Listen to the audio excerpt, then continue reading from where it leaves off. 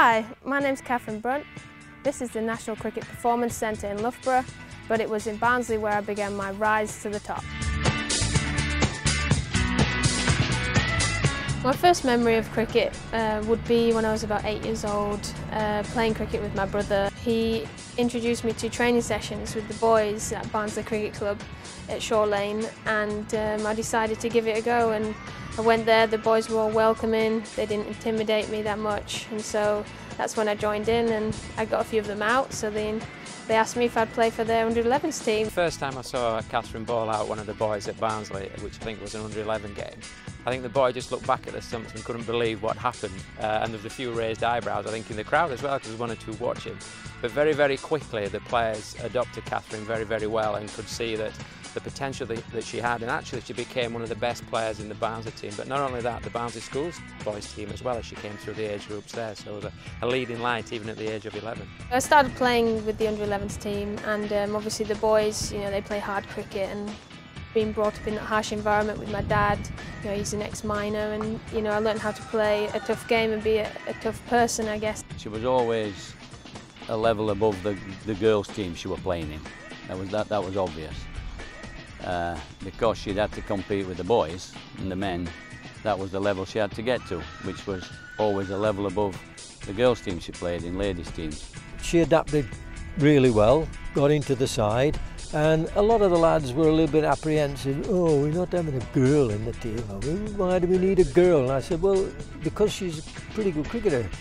And we found the one thing that Katherine would do for you was bowl line and length. Katherine, line and length, line and length. Yes, Mr. Good, line and length. And gradually she won the rest of the lads in the team over. After we started with the under 11s, um, I enjoyed it a lot playing with the boys. You know, I just felt like that was where I was meant to play my cricket and I also on the side played you know Yorkshire under 11s with the women so it was a balance between the two but I always felt like the men's cricket progressed me further so um, as I went through the ranks you know the 13s 15s 17s and then finally I got to play for the, the third team and the second team.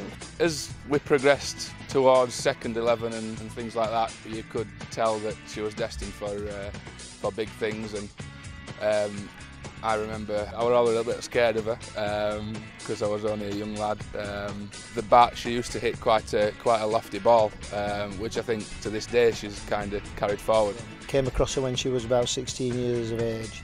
typical teenager, uh, full of talent, full of self-doubt. Um, on seeing her play cricket, absolutely no doubt about it, she was as talented as any uh, child in her age group, any young adult in her age group.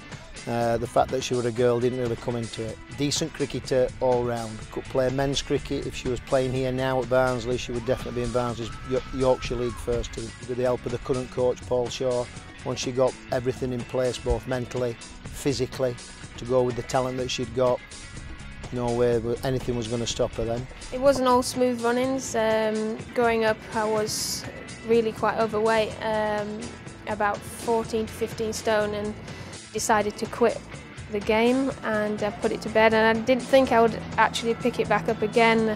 I met Paul Shaw. He said, look, I'll get you playing for England in two years, Brunty, and um, I remember saying I'll, I'll, I want to do it quicker than that. I could see a massive desire to be as good as she could possibly be. She wanted to be the world's best fast bowler at the age of 18, so the intrinsic motivation, desire, the commitment, the dedication and actually the sacrifice that she was willing to, to give I think was absolutely outstanding even at that age. Yorkshire's a is, uh, you know, cricket comes pretty high up in the pecking order of priorities. Um, I would say that Catherine's British by birth and Yorkshire by the grace of God.